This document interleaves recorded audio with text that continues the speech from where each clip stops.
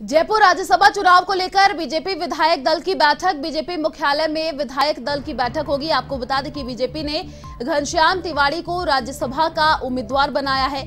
दूसरे उम्मीदवार उतारने को लेकर रणनीति पर चर्चा होगी।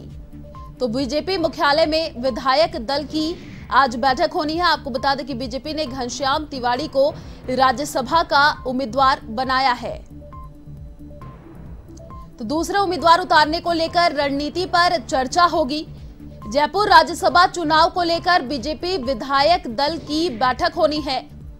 तो बीजेपी मुख्यालय में विधायक दल की ये बैठक होगी। आपको बता दें कि दूसरे जो नाम है उस पर चर्चा हो सकती है। बीजेपी ने घनश्याम तिवाड़ी को राज्यसभा का उम्मीदवार बनाया है। तो दूसरे उम्मीदवार उतारने को लेकर रणनीति पर चर्चा होगी।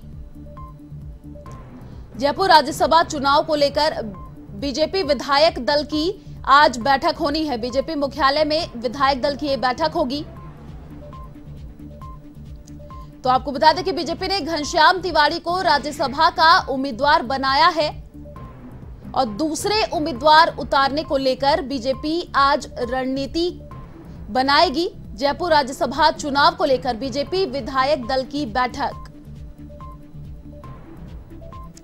तो बीजेपी मुख्यालय में विधायक दल की बैठक होनी है। आपको बता दें कि बीजेपी ने घनश्याम तिवाड़ी को राज्यसभा का उम्मीदवार बनाया है। दूसरे उम्मीदवार उतारने को लेकर रणनीति पर चर्चा होगी।